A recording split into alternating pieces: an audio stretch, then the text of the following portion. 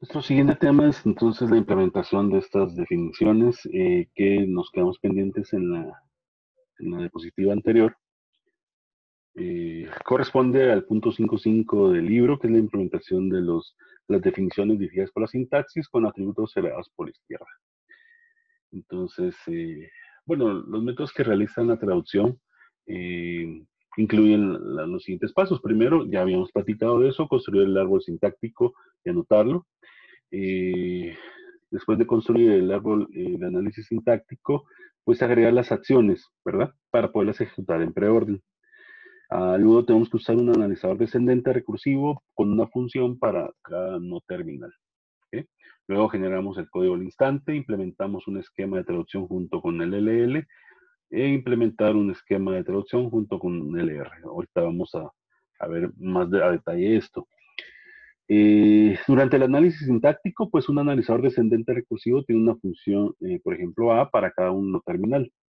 Para extender un analizador en un traductor se debe primero los argumentos de la función A son los atributos heredados, luego los valores de retorno de la función A es la colección de los atributos sintetizados. Eh, si se van a dar cuenta, ahorita está, les voy a prácticamente leer la, la parte de la teoría, son reglas simplemente, Ah, ya cuando entremos a, la parte del ejemplo, pues entonces ya se va a entender un poco mejor. Eh, ahí tenemos entonces una producción que tiene un while. Eh, la pregunta es qué atributos se utilizan para generar el código intermedio. Eh, adelantándonos un poco para las clases de la siguiente semana, ¿verdad? en semestre, lo, lo que les decía, pues vimos el ejemplo 519 para entender el flujo de control. Eh, para poder generar esas etiquetas, ¿verdad? Evaluando si C es falso o es verdadero. Eh, se los dejé como, hoja de trabajo ahí mismo, eh, pero mejor tuvimos que hacer una explicación al final, que aquí mismo está al final de esta presentación. Entonces, si ustedes van a, la parte del ejemplo 5.19, entonces aquí van a encontrar estos atributos en ese orden, pero ahorita los vamos a ver más a detalle, tomos en la parte. ¿Cuál sería la definición dirigida por la sintaxis? Eh, pues ahí empieza a hacer el cambio, ¿verdad? Eh, se dan cuenta, está el while, eh, la condición, el S1, que sería entonces el conjunto de sentencias. Entonces se crea esto. Un L1, que es, vamos a decir que es un new, el L2, S1 next es igual a L1. Ah, si la condición es falsa, pues entonces me voy a ese punto next.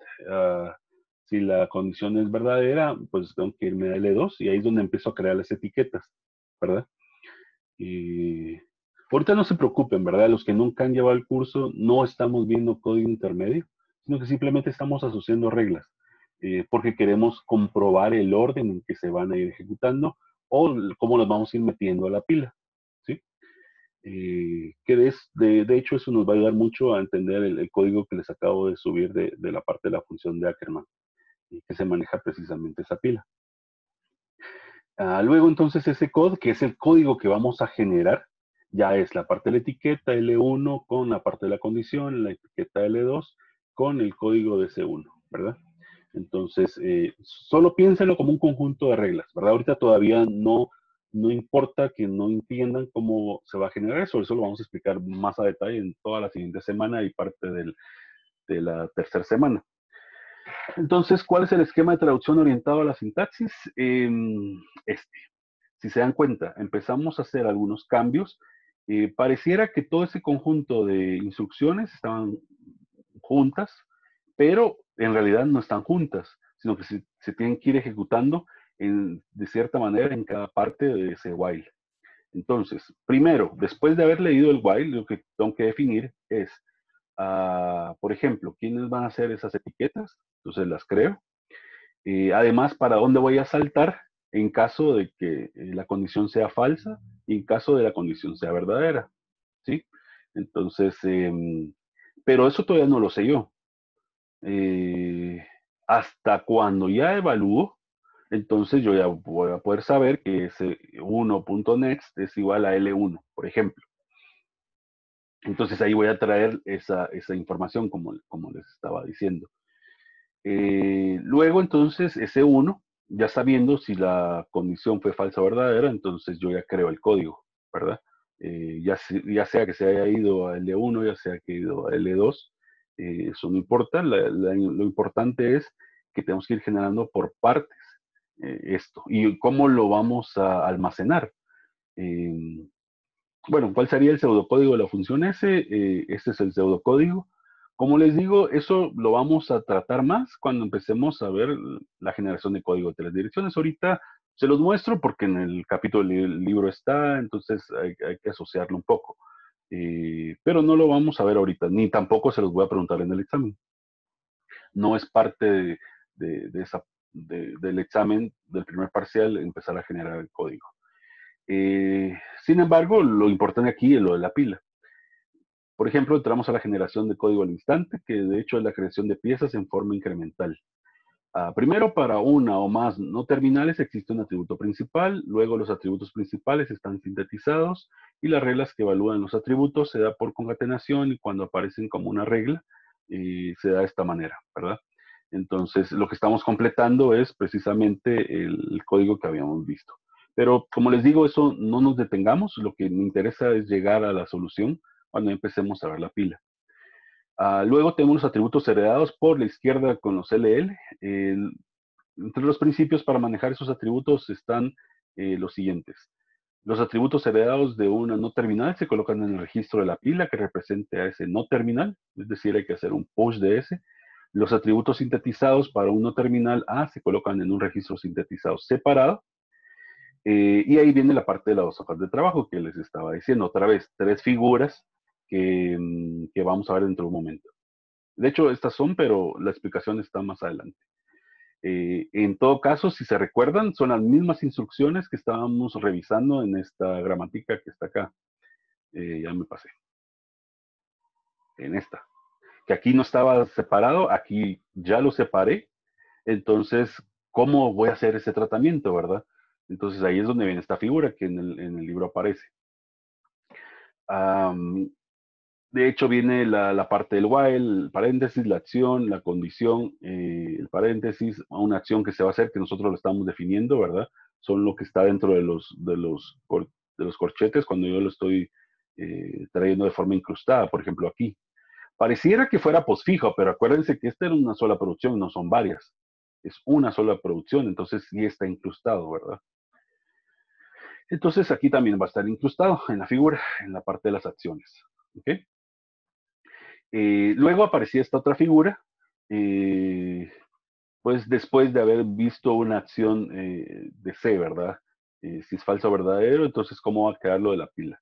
Entonces, la idea, bueno, y esta era una tercera, que era la expansión de S. ¿Cómo va a quedar la expansión de S paso a paso para que llegue a ese punto? Solo ver las, las imágenes a veces es un poco difícil, entonces hay que pensar un poco en, cómo es que se está trabajando con la pila, ¿verdad? Eh, y sí, como, como les había dicho, en semestre pues tuvimos problemas con eso porque no se entendía muy bien. Entonces, em, les, como era una hoja de trabajo, pues se presentaba, yo no se los voy a pedir ahorita porque si no vamos a perder un poco de tiempo. Mejor de una vez entremos a la solución. Y el recordatorio que debería de ser de Compi 1, ¿verdad? Eh, primero repasar el inciso 4.4, el análisis sintáctico descendente, ese si quiere copienlo por ahí, para tomar en cuenta lo de la pila, ahí menciona mucho lo de eso. En forma resumida, lo que habla es, consideremos la siguiente gramática, es una gramática que tiene quitada la recursividad por la izquierda, ya que es para un analizador eh, que sea descendente. ¿okay? Eh, por ejemplo, en el reconocimiento de cadenas se va generando el siguiente árbol por n pasos. Por ejemplo, el primero está E. Luego puedo escoger la producción TE', que sería la primera. Ah, luego puedo escoger a partir de T, ah, puedo ir a buscar, por ejemplo, esta FT'. Entonces, del lado izquierdo se va formando ese árbol. Y en F, si regresamos, puede generar, por ejemplo, el paréntesis o el ID. Lo que genera es, por ejemplo, el ID para este caso, ¿verdad? Entonces, así vamos generando poco a poco. Ahora, ¿por qué me interesa conocer paso a paso cómo se van generando o cómo se van reconociendo esas cadenas? Porque necesitamos saber cómo va quedando la pila, ¿sí? Entonces, eso era lo que les decía que está en el capítulo 4, que hay que, hacer un repaso. Eh, por ejemplo, en el stack, lo primero que yo meto es la E, trayendo, por ejemplo, este esquema, ¿verdad? Primero lo que entra es la E, ¿sí? Eh, luego la entrada, recuérdense que es ID más ID por ID y un símbolo de, terminar la entrada. Después de meto la pila el T', ¿verdad? Eh, y la acción es que yo saque eso, ¿verdad? Eh, el E que genera un T'. Ah, luego entonces yo al stack le meto el FT', E, que va a venir de la salida de, de que, que T genera un FT. Y por último, a meter el ID en la pila. Entonces, porque trae la producción de salida, que es que genera un ID. ¿sí? Entonces, eso va a ir quedando en la pila. Y eso es lo que nos va a ir interesando a nosotros cuando lo hagamos. Eh, la pila se observa de una manera vertical. las acciones son simples salidas. Eh, para el capítulo 5, las acciones sí son semánticas. ¿sí? Entonces, no solamente son eh, simples salidas, por decirlo de esa manera, como acá. Si se dan cuenta, este es un ejemplo del capítulo anterior, del 4. Entonces aquí todavía no, se empezaba a ver la parte semántica, entonces solo era eh, que estaba imprimiendo que es lo que estaba leyendo. Aquí sí, en nuestro en el capítulo, en el inicio de Compiladores 2, pues ya se trabajan esas acciones semánticas, ¿verdad? Además, no necesariamente son un esquema postfijo, podrían haber acciones incrustadas, que era como el ejemplo que habíamos visto, ¿verdad? El while, que es este. En la figura se usa el ejemplo 523, ¿verdad? Con el esquema de generación instantánea, eh, porque dentro, después del while, viene este código que está acá, después de, la condición viene este otro código, eh, y el S1, ¿ok? Entonces, eh, solamente se hace una derivación o expansión de S, por ejemplo, S que genera un while con una condición, una S. Entonces, si se dan cuenta, mi árbol se construiría de esta manera. Y eso, de hecho, es lo que vamos a ver que le va a pasar a la pila. La pila se muestra en dos partes. Por ejemplo, la A, que es, la figura más grande que ahorita la vamos a ver, para S, es decir, cuando se está haciendo esa expansión. Ah, luego vamos a expandir esa S. Eh, y esa expansión se hace para el while de forma horizontal. Ahorita lo vamos a ver más a detalle. Entonces, por ejemplo, primero entonces tenemos un top eh, de la pila que va a estar apuntando hacia. ¿sí? Luego, entonces, y, ese va a generar, entonces introducimos a la pila eh, la parte del while, el paréntesis de abrir, la condición, el paréntesis de cerrar y el S1, ¿verdad? Si se observa la pila del capítulo 4, al final hay una columna de acciones, dado que es un esquema postfijo. Pero ahora tenemos acciones incrustadas, que era lo que les mencionaba. Entonces, esto que está acá no va a quedar así de simple, sino que tenemos que meter las acciones incrustadas precisamente en la pila. Eh, aquí les, estoy mostrando. Entonces, las, las flechas azules indican las acciones incrustadas que vamos a meter. Y por eso la figura se va convirtiendo en eso. ¿sí? Pero si se dan cuenta, viene de lo más fácil, viene de hacer esto, ¿verdad? Entonces, ya le metimos las acciones y por esas razones que aparecen acciones ahí, ¿verdad? Eso es una de las cosas que muchos estudiantes me preguntaban, ¿verdad? ¿De dónde salió esa acción? En realidad son las acciones incrustadas. Luego regresemos, ah, antes de expandir ese, recuerden que ese entonces em, era un next igual a x. El tope es ese y tiene un atributo heredado llamado next se supone que tiene un valor X. ¿sí? Eh, es la suposición que hacemos. Al sacar a ese de la pila con un pop, eh, se tiene en memoria el valor de ese SNet para no perderlo. Cuando venga la primera acción después de la expansión de ese, es decir, lo que voy a sustituir, se podrá acceder a dicho valor, eh, el SNet, ¿verdad? Para poderlo jalar. Es como que si fuera, entre comillas, ese mi, mi atributo heredado que voy a ir jalando. Utilizando un valor temporal. De hecho, necesitamos un temporal para que no se nos vaya a perder ese, ese next. ¿sí? Sin el S punto, porque en realidad ya no es parte del S, porque el S va a desaparecer de la pila. Entonces, por eso se, le está llamando así. Entonces, eh, empezamos, tenemos la pila ya como la habíamos tomado en cuenta, con el while hasta ese 1 o subíndice 1. El analizador sintáctico reconoce los símbolos while y el paréntesis, ¿verdad?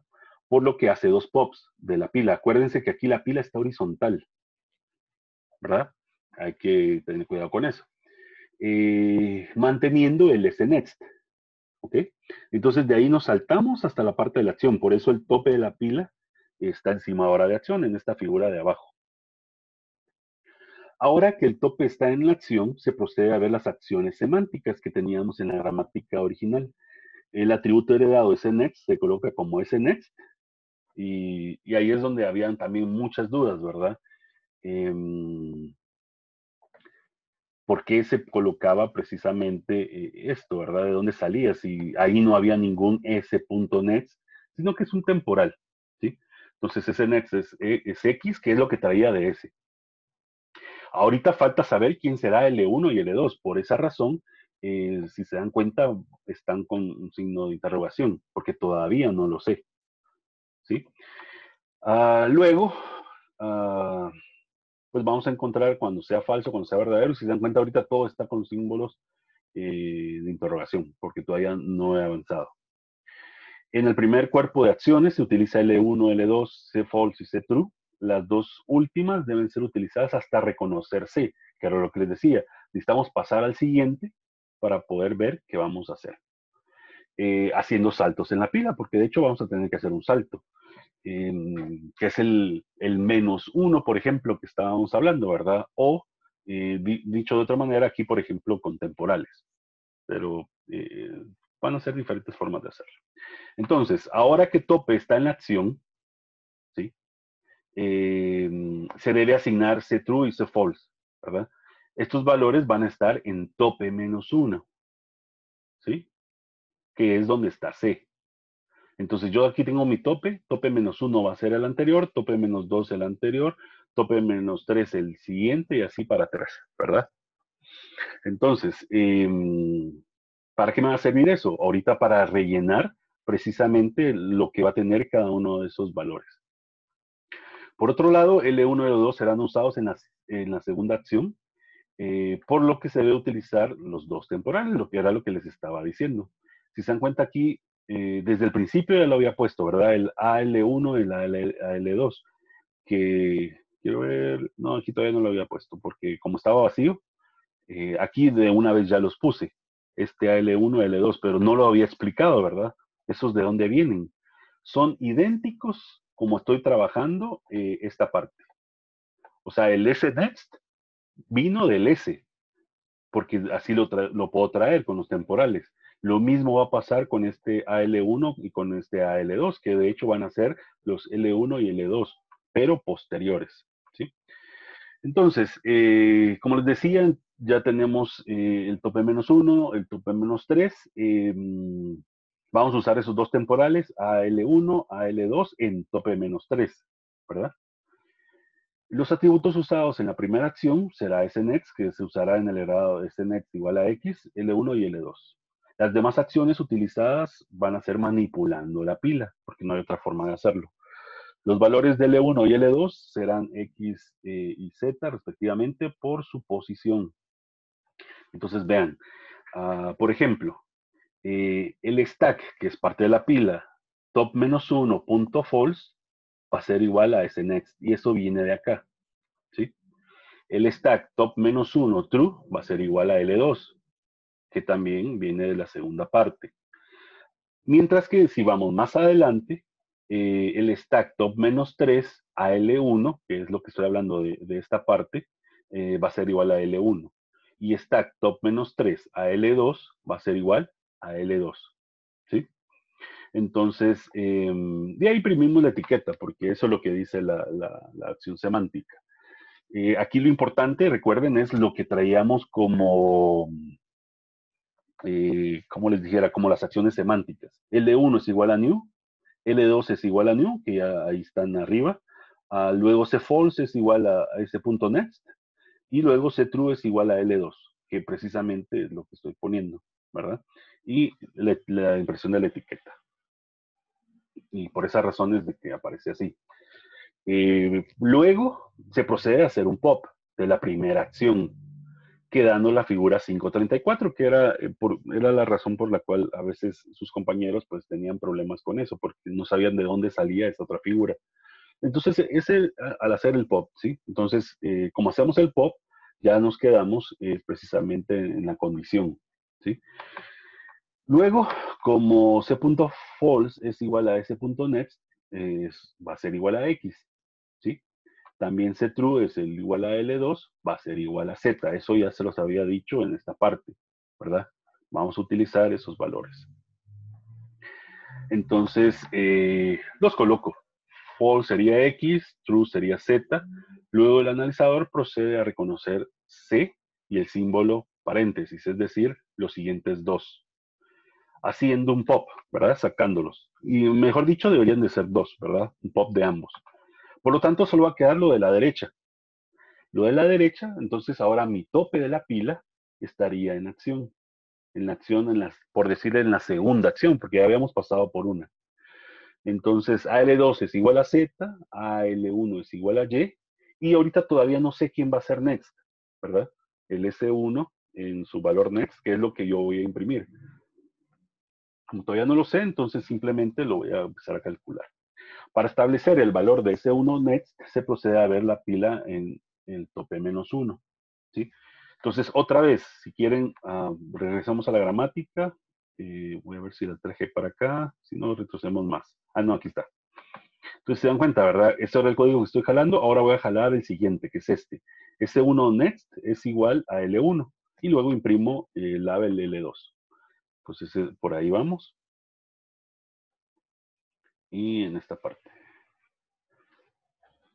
Entonces, S1 next es igual a L1 y primo etiqueta 2. Entonces, eh, ya ahora mi top está acá y top menos 1 sería el siguiente. Entonces, eh, stack top menos 1 next es igual a L1. ¿Sí? Y luego imprimo la etiqueta a L2. Eso sería lo que yo tendría que almacenar en esta parte. S1 next es igual a L1, ah, que en realidad viene como a L1, ¿verdad? Se recuerdan que es el temporal que hemos estado utilizando, eh, que es igual a Y.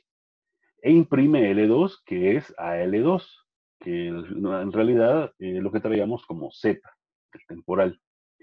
Entonces, finalmente, S1 tendría el valor Y que viene de L1 o de A a L1, es decir, lo fuimos trayendo eh, como que si fuera de una forma heredada. ¿verdad? Por otro lado, la figura 535, en vez de utilizar la generación instantánea como lo hace la 533 y 534, que es la que les acabo de explicar, eh, y si quieren regresemos eh, en la parte, antes de la explicación, estas son las figuras. Esta era la primera, así aparece en el libro. Pero si se dan cuenta, en el libro no aparece dónde está top menos 1, dónde está top menos 3, cómo sé que el top va cambiando, porque este top menos 1 podría confundirse con este top menos 1. Por eso les fui explicando, y si no, vuelvan a ver el video, eh, cómo vamos tomando eh, esas formas. Pero así, solo ver esta figura, sí, podría crear mucha confusión, ¿verdad? Hay que verlo tal como se los estaba explicando yo. Entonces, eh, la siguiente figura era esto, era su parte del anterior. Si se dan cuenta, era solo desde C en adelante. Es como que agarre yo eh, esta parte, ¿verdad? Eso era la siguiente figura, era esta. Eh, claro que todavía se esperaba ver que tenía ese 1.next. Pero después preguntaban acerca de esta. ¿sí? pero estos eran con atributos sintetizados, ¿verdad? Entonces, eh, ahorita vamos a ver eso. Entonces, eh, habiendo terminado esta, las primeras dos figuras, de explicarlas, vamos por aquí. Bien, entonces ese 1 next tendría el valor Y que viene de L1 o por decirlo de AL1 porque lo fuimos trayendo. Entonces la, la tercera figura que era la que les decía que está en el libro y eh, en vez de utilizar la generación instantánea, como lo hacen las dos figuras anteriores, la hace como un atributo sintetizado de ese código. La explicación es la misma, con la diferencia que finalmente se concatena el código en ese código sintetizado, o sea, vamos concatenándolo. Entonces, eh, como lo vamos concatenando, por esa razón es de que se va a quedar así. Eh, por ejemplo, ah, solo déjenme ver si había puesto la, no, no sabía, eh, no les había puesto toda la parte, pero en realidad aquí la explicación, eh, si se dan cuenta, la diferencia es, todos hacemos exactamente lo mismo. Lo único es que al final, si se dan cuenta, estoy concatenando. ¿verdad? Estos símbolos de acá, lo que están hablando es que está concatenando precisamente la, acción que se va a tomar. Entonces, eh, al final, el código es el que yo voy a generar, ¿verdad? Por ese punto code que es el sintetizado. Entonces, pero todo lo anterior, si se dan cuenta, es idéntico, a menos eh, que estos sintetizados, eh, pues va trayendo la concatenación de, dicho código, ¿verdad? ¿Y cuál es el código? Tal como lo habíamos visto al principio, ¿verdad? Eh, si se dan cuenta, vamos a ver si todavía tengo aquí la gramática para que les quede claro.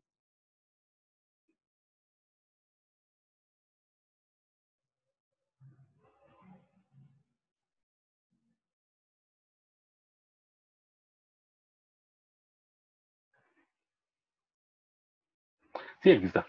Eh, entonces, en estas dos se puede observar al final, entonces el S-code lo que hace la concatenación precisamente de todo eso, ¿verdad? Mientras que, el, otro, pues no estábamos tomando eso en cuenta, estábamos tomando los valores que traían L1, L2 para irlo generando de forma automática. Entonces, eh, esa es la diferencia entre esas figuras. Entonces, entre la 535, que es esta, eh, lo único que cambia es que al final de cuentas lo que estamos haciendo es concatenando el código y mandándolo, mandándolo de forma sintetizada a code, que sería parte de, ese code. ¿sí? Luego, los atributos heredados por la izquierda con el LR. Se puede manejar una definición dirigida por la sintaxis con atributos heredados con un LR.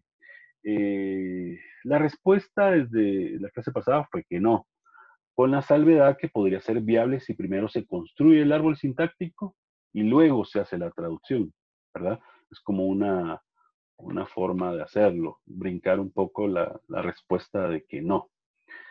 Para lograr utilizar el LR se deben considerar primero tres aspectos. Empezar con el esquema de traducción con acciones incrustadas antes de cada no terminal. Luego introducir a la gramática un no terminal como marcador de esta, eh, en vez de esa acción incrustada. Lo que estamos haciendo básicamente es convirtiéndolo en un esquema postfijo. ¿sí? Modificar la acción si el A, si el no terminal como marcador M la sustituye en alguna producción incrustada y asociar un epsilon. Eh, veamos el ejemplo. Vean esto. A genera una acción incrustada, BC. ¿sí?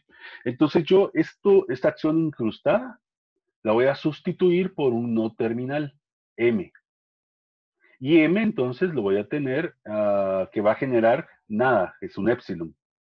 Y lo que va a tener como acción semántica, eh, pues básicamente la conversión de, este código que esté aquí adentro.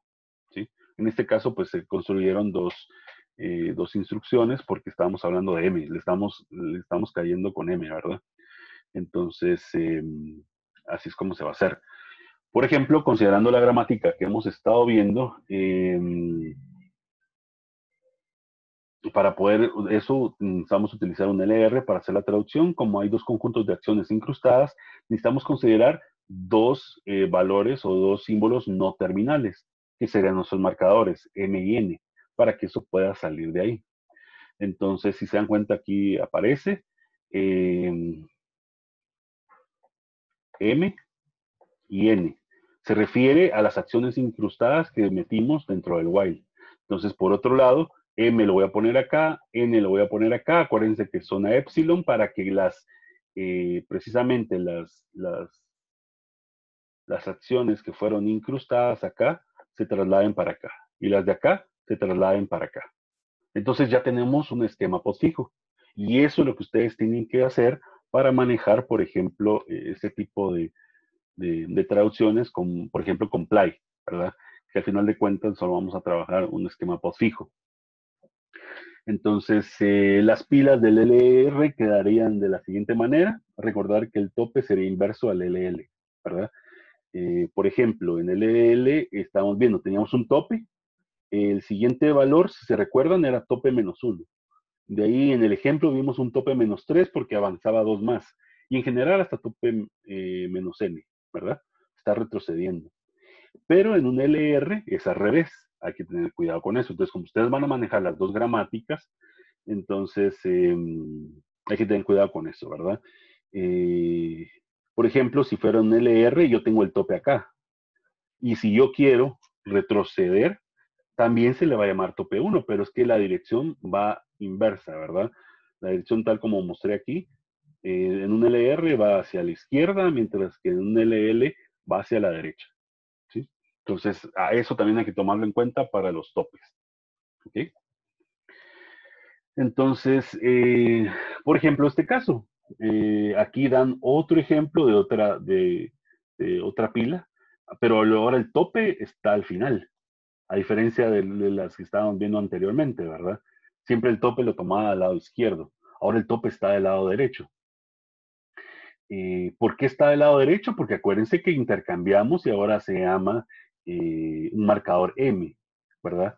luego también lo podemos hacer para la parte del N que fue la sustitución que acabamos de hacer acá. ¿sí?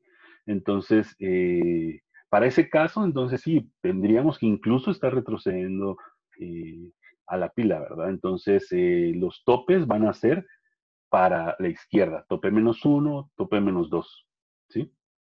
Entonces, esa sería la diferencia entre uno y otro. No sé si hay alguna duda hasta acá.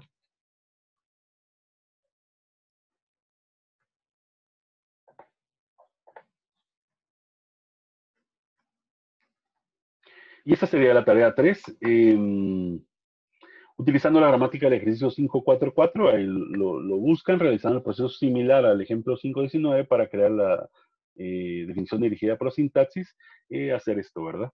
Lo que tienen que hacer es sustituir precisamente eh, la parte del ejercicio 544. ¿okay? Eh, además, necesito que implementen cada una de las definiciones dirigidas por la sintaxis, eh, como en el inciso 551 con una concatenación, el 552 es una generación instantánea, el 553 es un LL y el 554 es un LR. De hecho, esto les va a ayudar mucho para manejar lo de la, de la pila. Hagan las, las, tareas. Ahorita les voy, a, les voy a mejor poner en la carpeta compartida bien explicado cómo van a quedar las tareas, ¿verdad? Porque como se los estaba presentando, los, números aquí, por ejemplo, no, no, coinciden, ¿verdad? Pero ahorita les voy a explicar esa parte. Eh, y esto es no entregable, es que repasen los, eh, la parte de los incisos 4.4 para el descendente y 4.5 para el ascendente, que eso de, eh, de, hecho lo tuvieron que haber uh, realizado cuando hicimos la hoja de trabajo, ¿verdad? porque de hecho va a ser un, estudio complementario para el primer parcial. Si no saben esto, no, van a tener problemas, ¿verdad? Entonces, eh, si no lo buscaron cuando hicieron la hoja de trabajo en estos incisos, pueden ir a buscar el libro y miran estos incisos. Ahí están los dos analizadores que les pueden explicar eh, mucho de lo que se va a hacer. Eh, entonces, aquí terminamos la sesión.